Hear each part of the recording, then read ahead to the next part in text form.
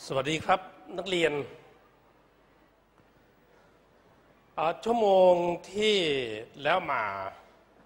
ได้พูดถึงการเขียนแบบทั่ว ๆ ไป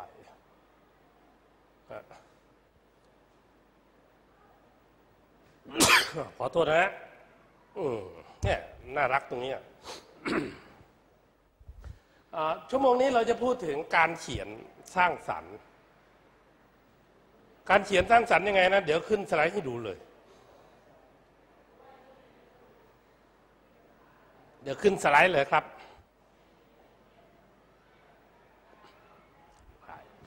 น้ำมุกไหล การเขียนเชิงสรรค์ในสไลด์หมายถึงการเขียนที่แสดงให้เห็น ให้เห็นถึงศิลปะการใช้ภาษา โดยการใช้สำนวนโวหารและภาพพจน์ทำให้เกิดความงามไพเราะ และจินตภาพเพื่อให้ผู้อ่านเข้าใจอย่างลึกซึ้ง ไอ้ที่จะเน้น ขอใช้ไวบอร์ด ดูนะฮะ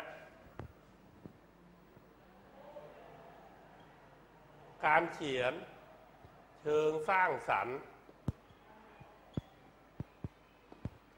การเขียนเชิงสร้างสรรค์นี่คือยังไง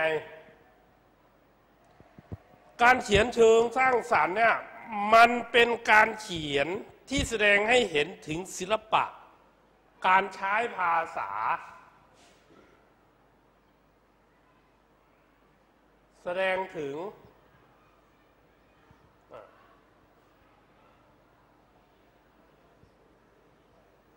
ศิลปะ การใช้ภาษาไอ้คำว่าศิลปะการใช้ภาษาตัวนี้กว้างมาก จะใช้ยังไงอะศิลปะในการใช้ภาษาเนี่ย ก็ไปดูปลายทางของมัน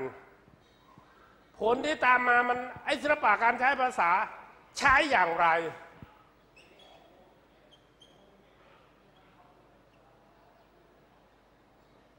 ไอศิลปะการใช้ภาษาตัวเนี้ย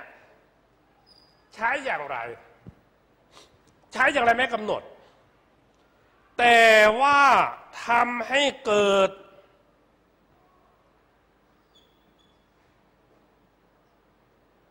ความงาม ความไพเราะ กินตภาพ เกิดทำไมทำไมต้องใช้อย่างไรในไม่กำหนด ใช้อย่างไรไม่กำหนดนะฮะใช้อย่างไรไม่กำหนด แต่ว่าต้องทำให้เกิดนะแต่ว่า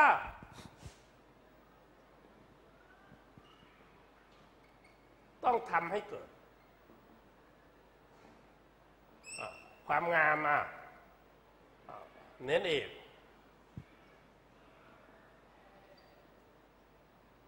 ไอ้ความไพเราะ จินตภาพ เมื่อเกิดความงามไอ้ความไพเราะและจินตภาพเนี่ยไอ้เป้าหมายของมันคืออะไร ก็ พื่อจะให้ผู้อ่าน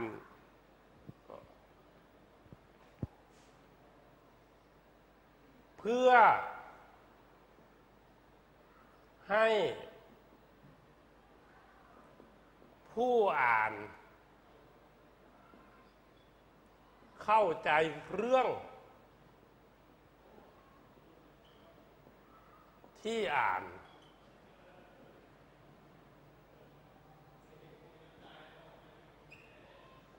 อย่างลึกซึ้งอะตรงนี้นะสำคัญแล้วนะคำว่ามันต้องทำให้เกิด คือเราจะใช้ศิลปะยังไง มันบอกไม่ถูกอะ่ะมันกว้าง มันกว้าง แต่ว่ามันต้องทำให้เกิดความงาม ความงามของภาษาเนี่ยหมายถึงการเรียบเรียงถ้อยคำความไพเราะหมายถึงเสียงของภาษาจังหวะลีลาท่วงทำนองอะไรต่าง ๆ จินตภาพ นอกจากไอ้จินตภาพเนี่ยนะไอ้จินตภาพมันคืออะไร มันเกิดจากคำว่า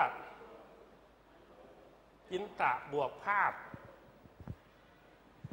ไอ้จินตะนี่แปลว่าความคิด ภาพในความคิด เมื่อมันเกิดภาพในความคิดเมื่อไหร่ เป้าหมายของมันหรือรากฐานของมัน จะต้องเชื่อมโยงกันอไอ้นี่สำคัญมากเลยเอาความงามความไพเราะนำไปสู่จินตภาพไอ้จินตภาพมันมาจากไหนอะอะ ความทราบซึ้ง ความประทับใจ ความทราบพึง ความประทับใจ มันต้องมาจากนี้ก่อน ถ้าไม่เกิดความทราบซึ้งและความประทับใจ มันจะไปเกิดภาพในความคิดได้ยังไงอะบางทีเขาก็บอกว่า ไอ้ความดื่มดำภาษาแบบร่ำมลานไอ้ความดื่มดำความซาบซึ้งความประทับใจ มันนำไปสู่จินตภาพ แค่นั้นยังไม่พอนะฮะมันยังมีความรู้สึกด้วย ความรู้สึกไม่ก่อนที่จะเกิดความรู้สึกเนี่ยมันต้องเกิดความคิดก่อนอใส่ไปดูสิ ใส่ไปดูสิอ่าเพื่อให้ผู้อ่านเข้าใจเรื่องที่อ่านอย่างลึกซึ้ง อย่างลึกซึ้งเนี่ยนักเรียนตีบทนี้ให้แตก ทีนี้ ไอ้เส้นทางการใช้ภาษานะฮะวันนี้ใช้ศัพท์แปลกๆ เส้นทางการใช้ภาษา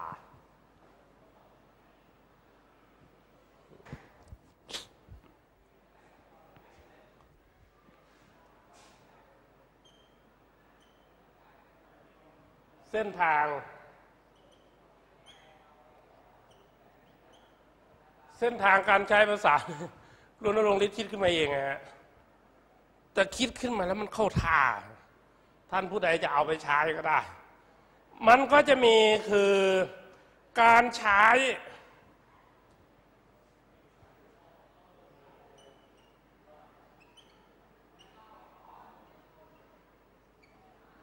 การใช้ถ้อยคำการใช้สำนวน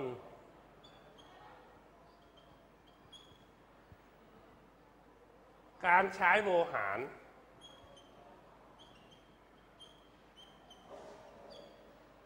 ภาพพจน์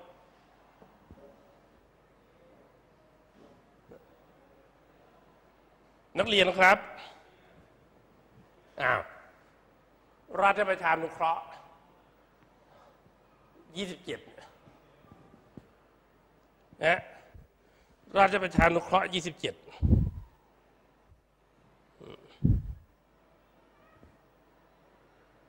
เข้าใจมากน้อยแค่ไหน ไม่ใช่เพราะรับประทานนุเคราะห์ยิบเย็นนักเรียนทั้งหมด ชั่วโมงนี้ครูนันนรงฤทธิ์เนี่ย ไม่ใช่คำพูดแบบเดิมอะก็พัฒนามา เส้นทางการใช้ภาษา ใช้ถ้อยคำการใช้ถ้อยคำการใช้สำนวน การใช้โวหาร การใช้ภาพพจน์ ไม่ ว่าจะใช้ในลักษณะไหนก็ตาม จุดหมายสุดท้ายใช้สับแปลกๆใช่ไหมปลายทางของการใช้ใช้คำนี้เขาทาดีกว่า ปลายทางของการใช้ คือ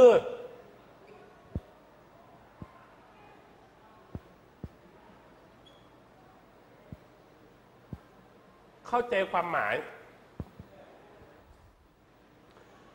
พูดง่ายๆก็คือ เข้าใจความหมายนั่นก็คือความหมายอะความหมายของอะไร ความหมายของคำความหมายของสำนวน ความหมายของโวหาร ความหมายของภาพพจน์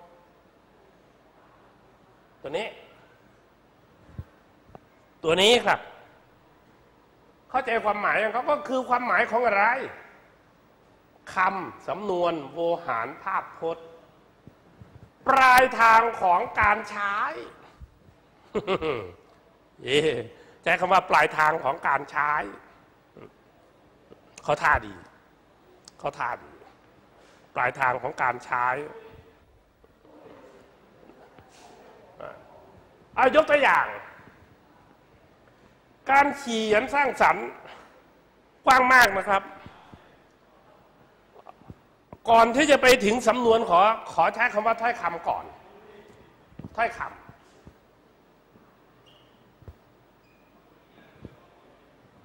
แล้วกลับมา ถ้อยคำ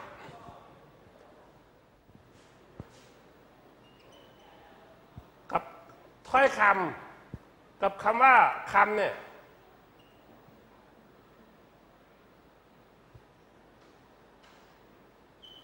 ต่างกันหรือไม่ ถ้อยคำกับคำต่างกันหรือไม่ มันยังไม่มีคำตอบคำตอบก็คือ เช่นคำว่า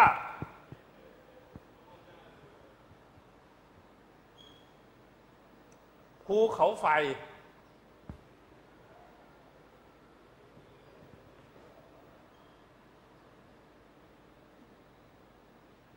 ภูเขาน้ำแข็ง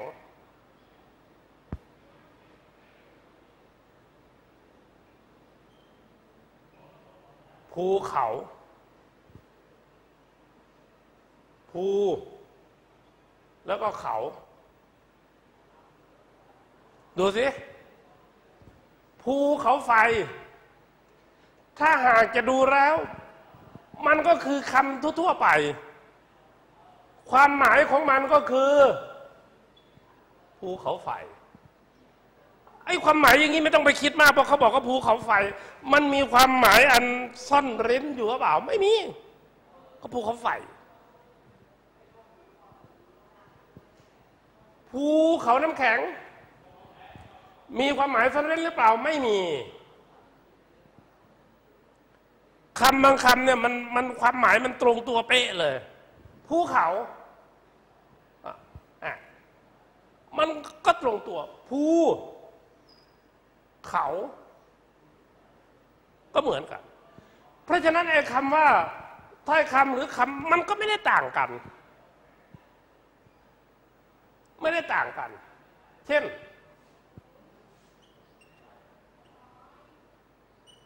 ฉันพูดด้วยคำว่า รัก ฉันพูดด้วยคำว่ารัก ต่างกันไหมฮะ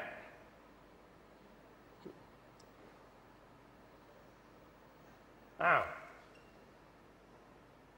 ฉันพูดด้วย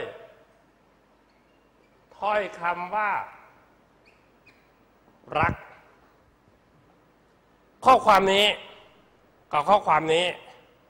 ความหมายต่างกันไหมครับ อันหนึ่งว่าฉันพูดด้วยคำ เน้นที่คำอันนี้ที่ถ้อยคำฉันพูดด้วยคำฉันพูดด้วยถ้อยคำว่ารักความหมายไม่เปลี่ยนความหมายไม่เปลี่ยน ความหมายไม่เปลี่ยนนักเรียน ความหมายไม่ได้เปลี่ยน เมื่อความหมายไม่เปลี่ยน นักเรียนก็ดูว่าคำและถ้อยคำไม่ได้ต่างกันอะไรมาก คำและถ้าคำไม่ได้ต่างอะไรมา ทีนี้คำว่าสำนวนนั่นคืออะไรเดี๋ยวขึ้นสไลด์ให้ดูเลยสำนวน